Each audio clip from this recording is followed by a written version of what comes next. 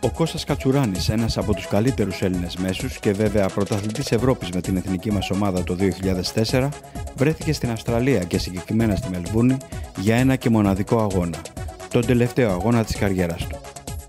Αποδεχόμενος την πρόταση του Μέγα Αλέξανδρου, μιας ημιεπαγγελματικής αλλά συνάμα ιστορικής ομάδας της Ομογένειας, να αγωνιστεί στον προημιτελικό του κυπέλου Αυστραλίας εναντίον της Melbourne City, είχε κατασταλάξει πώς θα τερματίσει την καριέρα του. Με τα χρώματα που του πάνε περισσότερο όπως δήλωσε ο ίδιος, το κίτρινο και το μαύρο, και ανάμεσα σε χιλιάδες Έλληνες να τον αποθεώνουν.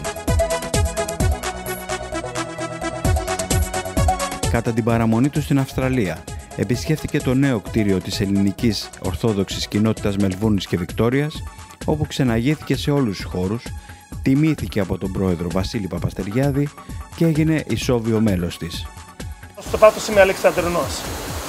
Μεγάλωσα στο γήπεδο εκεί με τους γονείς μου, ήμασταν κάθε εβδομάδα και πέρα σε μια ελληνική ομάδα που ο πατέρας του Γιώργο ήταν ε, ο πρόεδρος για πάρα πολλά χρόνια, έχει βάλει πολλά λεφτά μέσα στο, στο χώρο. Χωρίς τον Γιώργος προπονητή έχει πέσει η ομάδα που μπήκε μέσα πάλι ανέβηκε. Είσαι σε καλά χέρια και εμείς είμαστε και είναι η δικιά μας τιμή που είσαι δίπλα μαζί μας. Να είστε καλά, ευχαριστώ.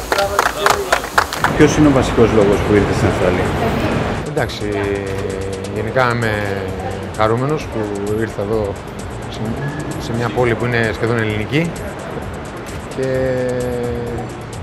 όλα γίνανε μέσω την πρόσκληση που είχα το Σύλλογο του Μέγα Αλέξανδρο να έρθω να παίξω για ένα παιχνίδι και ε, το θεώρησα έτσι σαν μια εμπειρία. Γενικά μου αρέσει να ταξιδεύω, να βλέπω κόσμο και λόγω ότι έχει πάρα πολλούς Έλληνες και με υποδέχτηκαν άψογα και η φιλοξενία τους μέχρι τώρα είναι πάρα πολύ ζεστή και όλα αυτά συντέλεσαν στο να είμαι εδώ που με βλέπεις στο, στο Μελβούρνη. Επισκέφθηκες στο νέο κτίριο της κοινότητας, ε, έχει εγκαινιαστεί από πέρσι το Σεπτέμβριο, όπως σου πάνε. Εντάξει, είναι ένα πάρα πολύ εντυπωσιακό κτίριο στο κέντρο της Μελβούρνης. Οι, οι άνθρωποι εδώ ήταν πάρα πολύ ευγενικοί.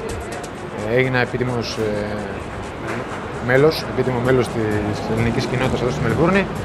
Ε, είμαι χαρούμενος και, και συνάμα και περήφανος που οι συμπατριώτες με Έλληνες έχουν κάνει τόσο ωραία, τόσο ωραία πράγματα τόσο μακριά, τόσο μακριά από τη χώρα μας.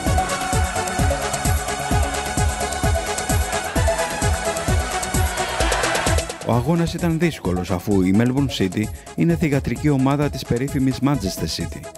Μπορεί ο Μέγας Αλέξανδρος να έχασε 5-0, αλλά οι στιγμές δόξας και το χειροκρότημα στο τέλος ήταν ο καλύτερος αποχαιρετισμός στον Κώστα Κατσουράνη.